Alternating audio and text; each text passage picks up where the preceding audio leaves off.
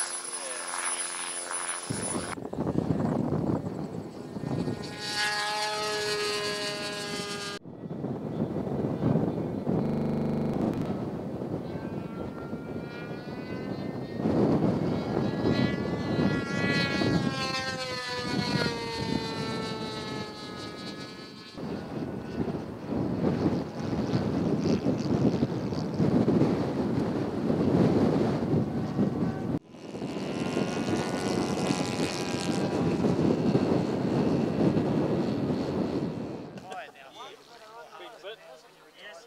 Yeah, good man. Well, it's called